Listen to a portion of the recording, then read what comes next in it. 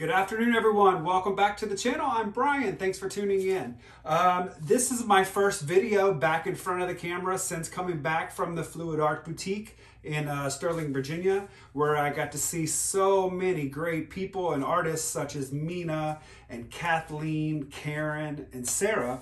But not only that, I got to see all my friends that we see in the premieres and get to just chit chat on Facebook and things like that. We had such a great time. But this is my first video back recording, and I gotta say, I feel a little out of my element. I haven't been in front of the camera doing this, so um, it, it's just weird. It's kind of, I feel very strange but I'm gonna make the best of it. We're gonna do a great pour today. So today I'm gonna do my part two in my capsule uh, series. And so I will be using those same colors that I used in the first one. I'll link that first video here. I'll also put that link down in the description box. So um, if you don't know what this is, what I'm doing is I'm doing three or four paintings using the exact same colors, but I'm doing different techniques. So the first technique I did was a split cup ring pour with these colors. Today I'm gonna do just a straight pour right out of the cup and my paints are thin. I'm hoping to get a lot of cells. I'm not using any metallics, so this is gonna be a very interesting pour, and the result I'm hoping is gonna be great. So let's get you down on the canvas. We'll talk about the canvas size that I'm gonna use, and then we'll talk about these colors, all right? I'll be right back.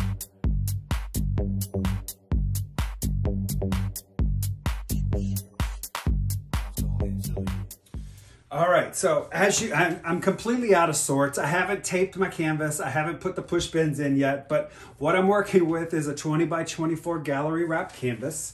And so I will, uh, off camera, I'll get everything prepped and I'll go ahead and flood the canvas to save time on the video because the video is going to be a little bit longer with having to wait for the cells to develop and the slow tilting.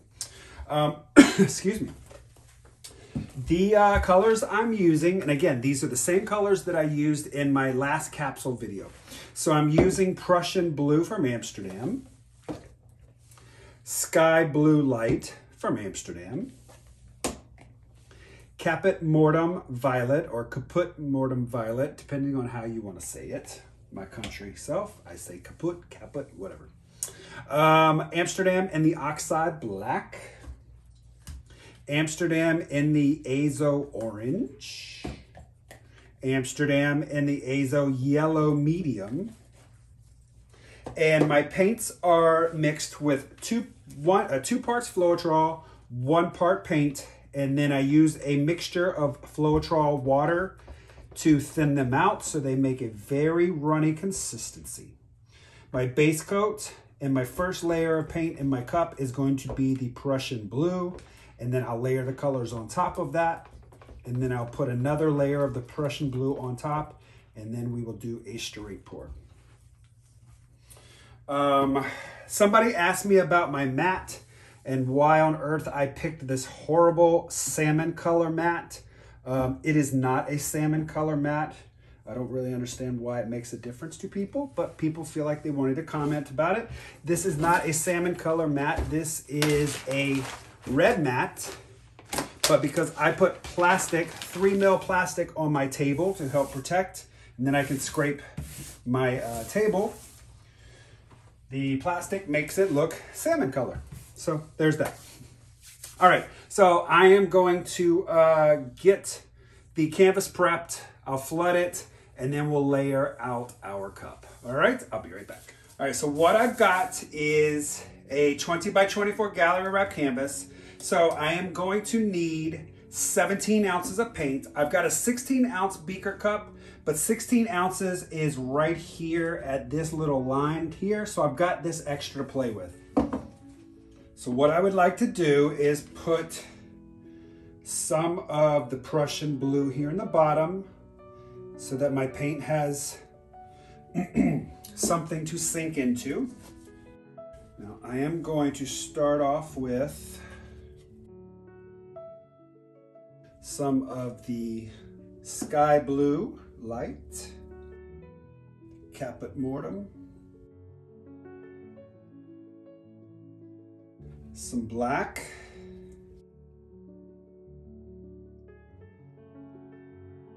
some of the orange.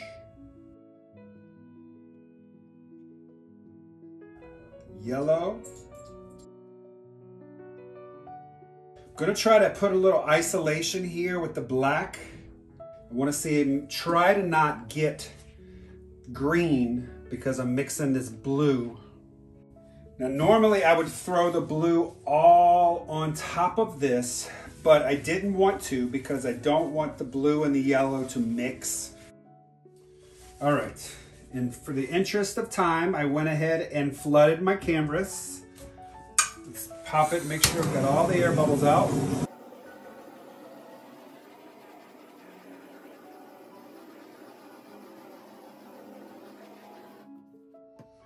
All right, we're gonna start right here in the center.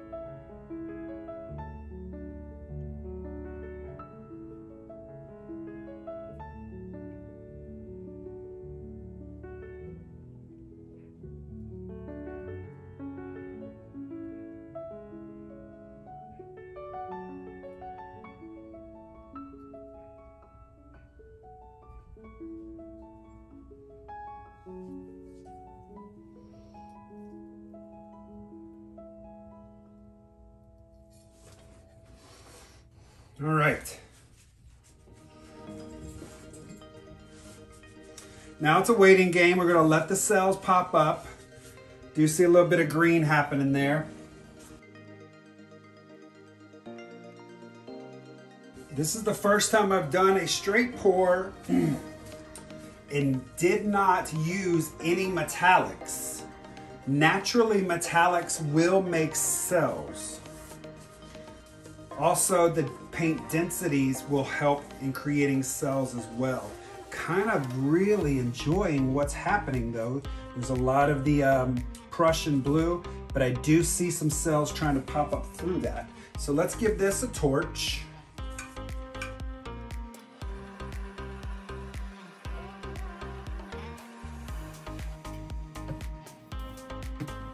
What I'm gonna do is I will time lapse this, I'll speed it up so I'm not turning the camera off, but I'll fast forward to this so the cells will pop up and you don't have to sit here through that entire process. Got some really cool lines though happening.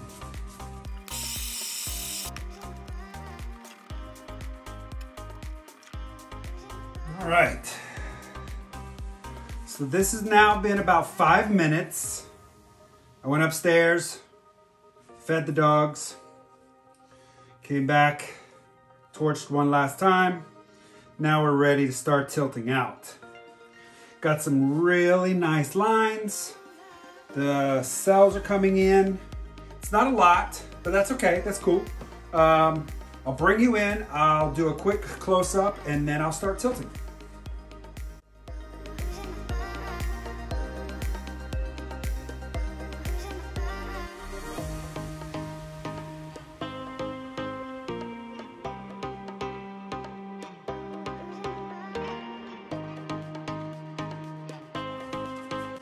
Let's begin.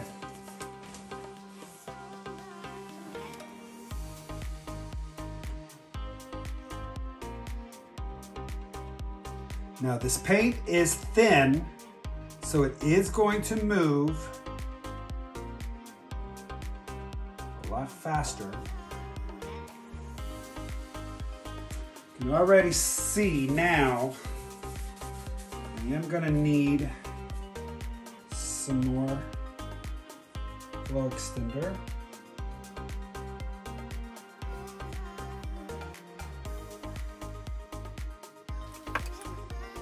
All right, let's go again.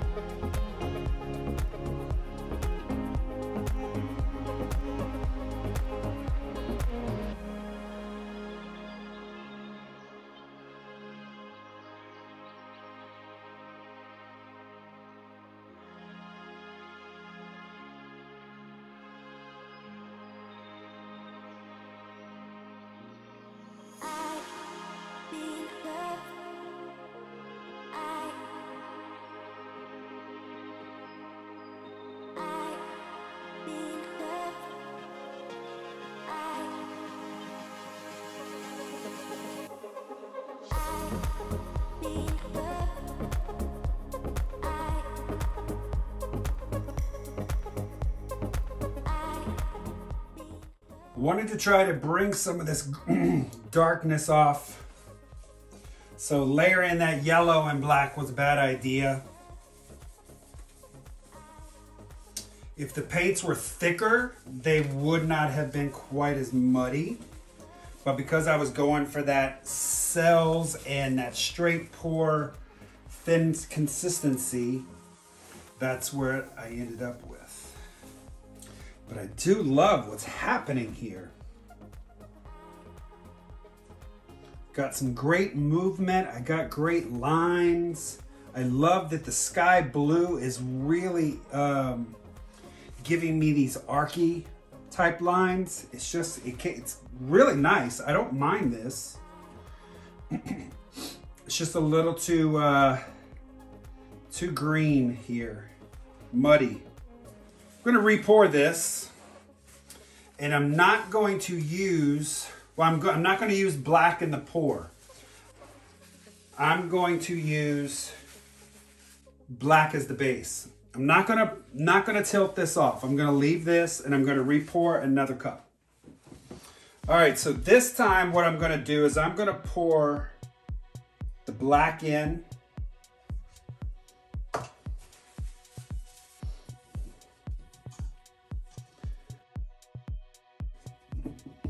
Let's put the Prussian blue in.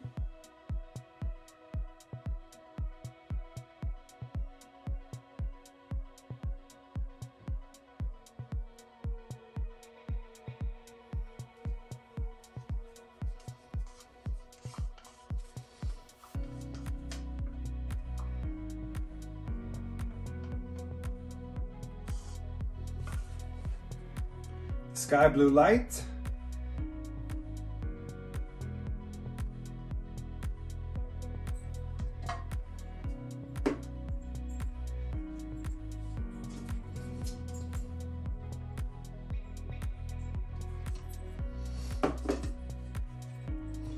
Caput mortem.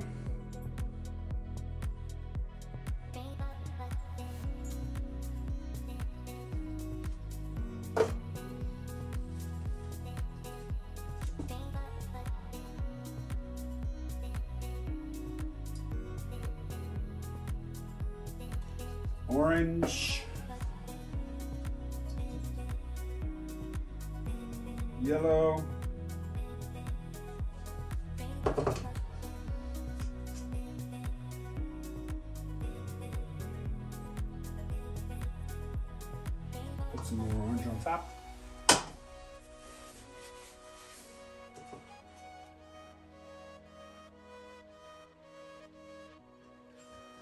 Yellow.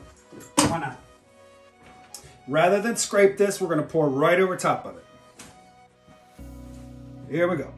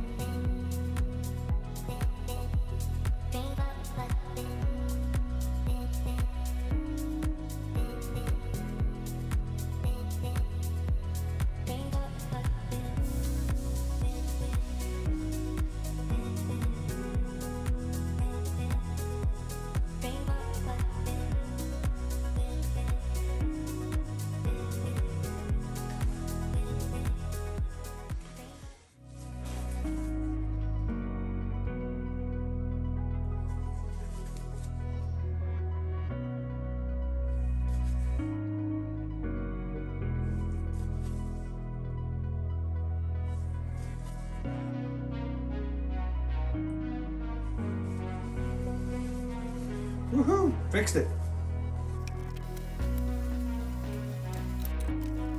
Let's give this a torch.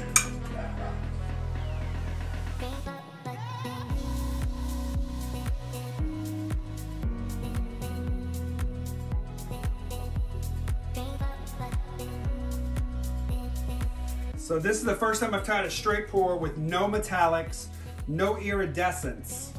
So clearly things are not necessarily natural cell makers. I get little itty bitty ones here, but it's not a lot.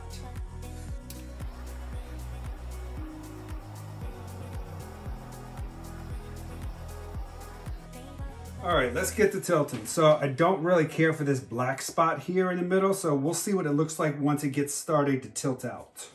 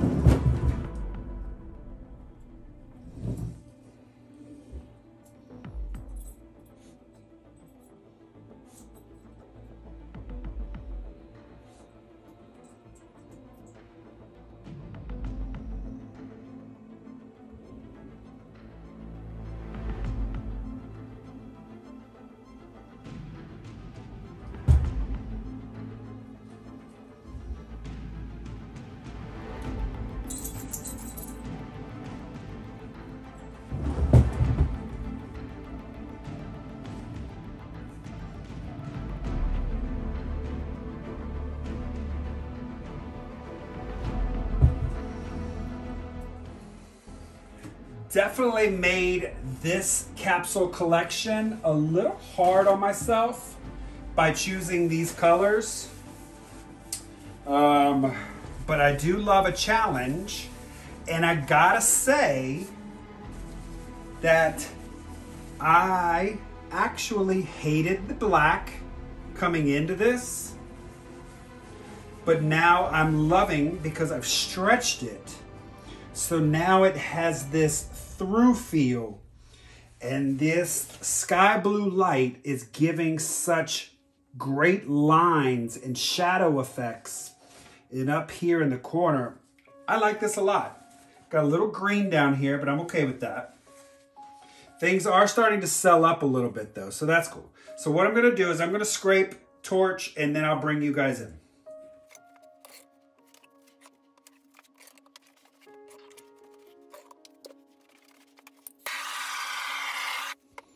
All right, here's the wet result. Check out the lines, check out this composition.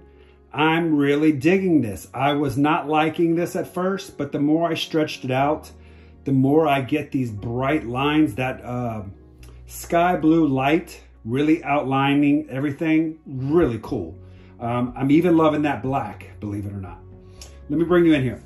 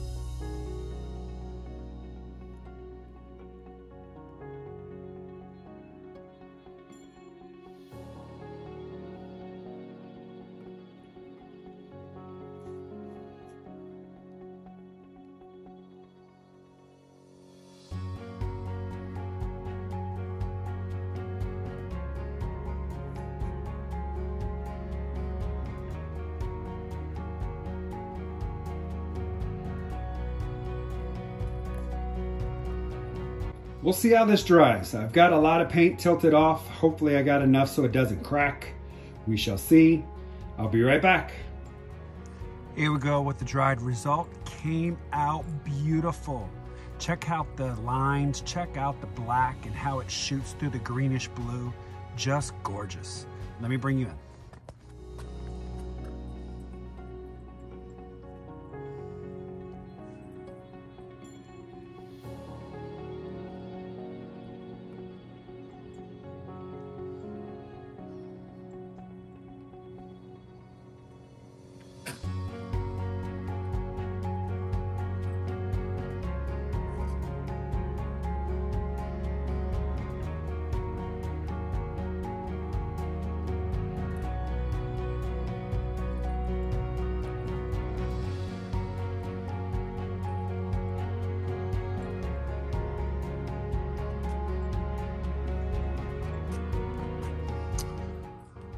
Right, that's it for this piece. Thanks for watching. Thanks for tuning in for the video. I really do appreciate everyone's support.